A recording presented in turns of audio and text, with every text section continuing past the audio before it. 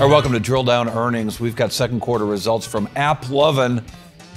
What a company this is. It's the company is as awesome as its name is stupid in my book. This is the business story behind one stock on a move.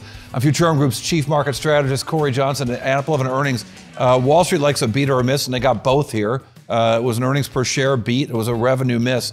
But uh, really strong results from this business. I want to dig into how the business works, the actual numbers here. So, second quarter results from this company uh, $1.08 billion in revenues, up 44% on a year over year basis. Profits of 310 million, up 286%. So the revenue growth really ticking up here, right? That's the first thing you see, that jump of 44% in the revenues. But the EBIT margin, the operating margins for this business have gone from negative two years ago when they made a bunch of changes and kind of introduced a new technology to, as an overlay of all the things that they do. They've now got 36% operating margins or EBIT margins super strong here. So what do they do? So they sell a software platform that allows uh, really mobile uh, developers, app developers, particularly game developers, uh, to do things uh, to manage their software, but also um, to do, allow in-app purchases and in-app advertising. And so the majority of their business, 66% of this quarter, was indeed that software platform. And that software platform has just seen stellar growth. You've got it growing, nearly doubling year over year, and now uh, over $700 million in revenues. And what it has done is it's, it's masked some of the weaker growth in their um, in in their other businesses. So the the in-app purchases, the in-app advertising, those have kind of stayed flat over time. But if you look at it as a percentage of revenues, I made this fancy chart that shows you 100% of the revenues, regardless of the fact that they're going up. And what you can see is that the success of the software business is squeezing out the importance of in-app purchases and in-app advertising. Those are still big businesses, but they've kind of remained similar in size while the software platform is growing. So how did the stock react when the numbers came out? Well, initially the computers sell it off with a with a miss on the uh, on the revenue number, uh, and then when the company starts talking, people start reading through the press release, you see the stock start to rally. So it's up about three percent uh, during the conference call, which is ended just moments ago. Uh, even though for the last year the stock's up 118 percent despite the sell-off in the last few weeks. Now, on the CEO, not on the CEO, on the conference call, the CEO uh, Adam Foroughi talked about um, how the the publishers that they work with, the game publishers in particular, and the other app publishers, some of them used to think they were competing with AppLovin, even when they were using AppLovin software.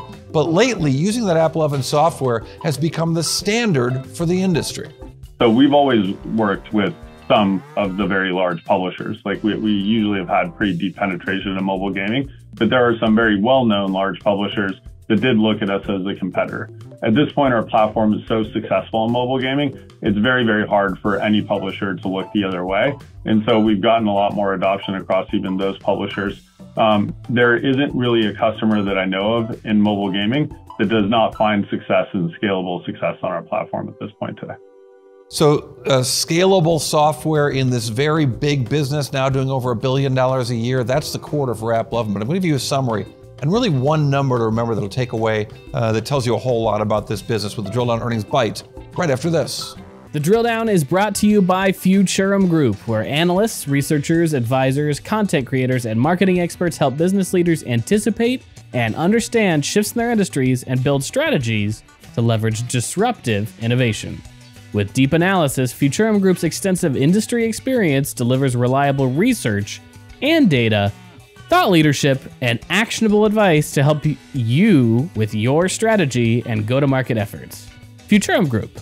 So, AppLovin just reporting second quarter earnings. Here's what you need to know, what you want to remember about this quarter $1.08 billion in revenues. But the big number to remember is that those revenues are up 44% on a year over year basis and very profitable on top of this. This business is big, it's growing fast, and it's throwing off a lot of profits and free cash flow.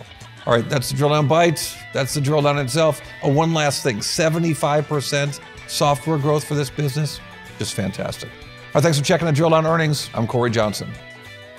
And you can check us out on X at Cory TV. Shorter drill, uh, earnings takes on uh, Instagram and TikTok for, for all kinds of tech companies, or in depth earnings coverage and lots more about technology in the 6 5 Media page on YouTube.